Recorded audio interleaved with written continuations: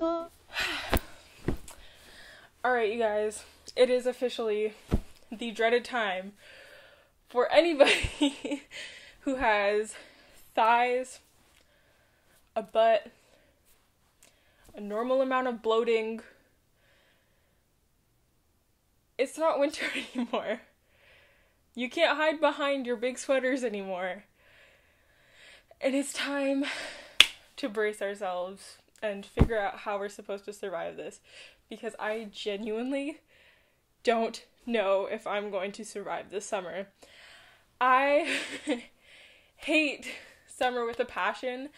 And like don't get me wrong, like summer fashion is really cute and if you're and like I'm only hard about like summer fashion on myself. I think literally everybody else looks amazing in shorts or a dress or a tank top. I think I look like absolute trash. Like right now, I like want to I'm cringing at myself in the viewfinder because I hate this outfit so much. But like in theory it's cute. When I tried it on in the store, it was cute. But because I'm a little bloated and because I have these like weird little like armpit butt things, I hate it. But if anybody else has it, I think they're beautiful. And I wish I was them. and it's so freaking annoying. Okay, yeah, let's actually just go straight into whole the whole fashion thing. Um that's honestly the part that like bothers me the most because Canadian summers, especially in Toronto, are the worst. It's hot, it's sweaty, which means your thighs are gonna rub and rub and rub. And I remember being shamed for like chub rub my whole entire life, and it wasn't until very recently that I realized most people have it. Basically, I religiously shop at American Eagle. I think like a solid 90% of my wardrobe is American Eagle just because like I know my size in their clothes. I really like their clothes. They like fit with like my aesthetic.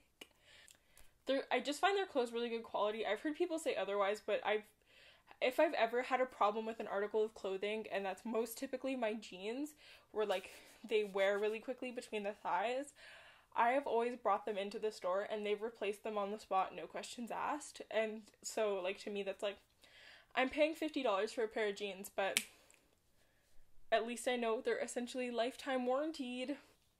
So, I'm going to talk about American Eagle's curvy line, so the curvy jeans and curvy shorts. Those are my entire life. I'm wearing the curvy shorts right now in a light blue. I will put a link to them in the description because they're literally my favorite pair of shorts. They fit me so well. I have a lot of their like not curvy shorts as well. They fit fine. I just find that these these weren't supposed to be super high waisted. They are super high waisted. They're too big, but they're comfortable, which is fine, and I can like roll them up and it kind of gives them more of a like vintage aesthetic if they're a little bit baggier, which is cute, so it's fine. Um, I also really, really like their curvy jeans. Um, I know a lot of people hate wearing jeans in the summer. I personally don't like having my legs on display a lot, so um, I do typically just wear pants, um, whether they're like palazzo flowy pants or um, jeans, which is typically what I go for because I'm basic. Um, I always wear American Eagle, and again, I recently found out about their curvy jeans. Um, and I've had zero problems. Like, they're my favorite jeans in the world. Like, my black jeans that I wear like every single day are from that line, and they're just so comfortable and they're cute, and you can wear them with anything. And with pretty much when I go for pants, I typically wear a tank top uh, over top because I don't want to overheat. So that's pretty much my reasoning, and that's what I do, and that protects your thighs from rubbing together. So, you know, for tops, I like to wear a lot of oversized tees. Um, o- oversized shirts are just like my go to because they have a lot of room and they're easy to tuck into anything. And I don't know, they're just really comfortable for me. I know that they're not the most flattering item of clothing to wear, but I like them so tank tops again like i said i wear those with jeans for the most part today i'm wearing it with my shorts because i was like i need to at least put on an outfit today so yeah, but I, it kind of just depends on the weather. Like if I'm at my cottage and it's 35 degrees with a ton of humidity, I'll probably be wearing shorts and a tank top. I also really like light jackets and kimonos. Um, I know that this is like a really like mom type of thing to wear kimonos all the time, but like if you look at my videos from the end of last summer, I'm wearing a kimono and like all of them. I also bought one tube top, which is like super surprising because I have boobs, right? I was not expecting a tube top to work for me. And it did, except I need to go get it in a smaller size. I bought like an extra large American Eagle reversible tube top, and to my surprise, it was falling and I was like, whoa, okay, but my boobs. And it was like, no, no, you don't fit in this. You need a smaller one. So I'm gonna go get a smaller one because, um, yeah, so tube tops are amazing. And they're also like relatively cheap and compared to normal shirts. So if you're like on a budget, a tube top will work. Another thing I really like is linen blouses with like a bralette underneath. Um, I also really like rompers. I it's hard for me to find ones that fit properly because I'm tall. Er, I guess I'm five eight, which I guess is tall. But I wear I have this one romper that I bought on clearance at the end of like spring break time and it's really really cute. I got I was able to get it in a tall length which fits me like a glove, but honestly like it's so comfortable and roomy.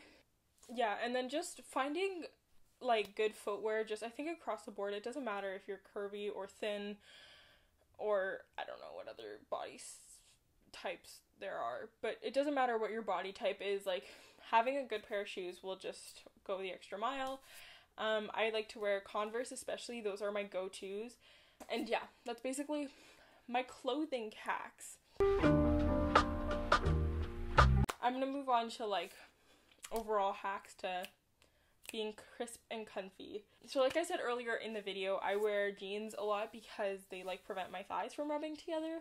But there are two tricks that I can think of off the top of my head that are really really really good for preventing chub rub.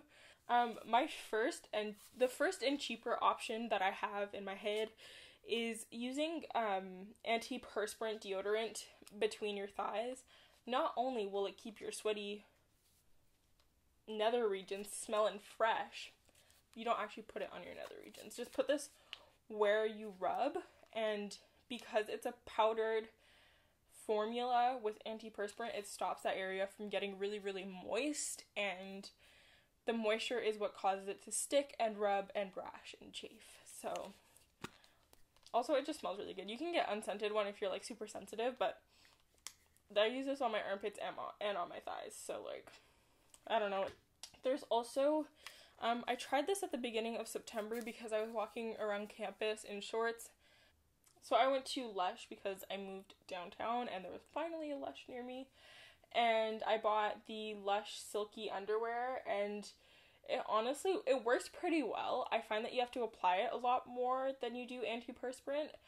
But I mean, if your thighs aren't as sweaty as mine, I'm sure it would work really, really well. It's also natural, which is nice, and it just looks like this. Yeah, and you could also do like mom shorts. I think mom shorts and Bermuda shorts, for the most part, prevent chafing. I hate the way I look in Bermuda shorts. I think I look like a 95 year old woman in them, and like, not really looking for that vibe right now.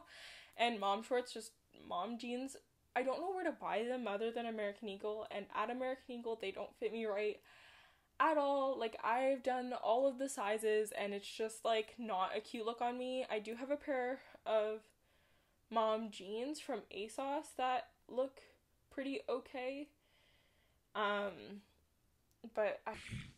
Buying from ASOS because I hate paying for import fees. And then if you're like me and have a thick old head, if you have a big old head of hair like my hair is curly. I don't know if you guys can actually tell but like i got curly hair. And in the summer it gets like 10 times worse. So um i really like doing braids like two like braids around my head and then pinning them up. I think it looks really cute like milkmaid braids or just french braids. Also putting my hair in a ponytail what i do is listen this is kind of a genius idea.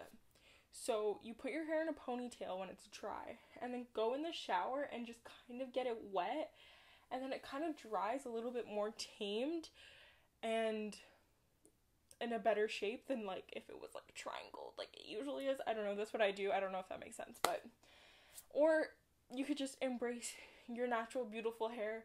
That's it for this video, guys. I hope you enjoyed it.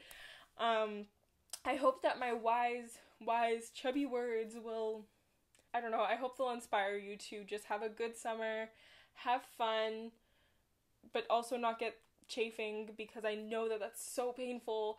Yeah, if you guys like this video, give it a thumbs up. Anyways, I'll be back next time. I was gonna say next week, but I can't guarantee regular uploads because I'm Quirky. No. I'm joking, I'm just stupid. Um anyways, yeah, I hope you guys enjoyed this video and I will see you next time.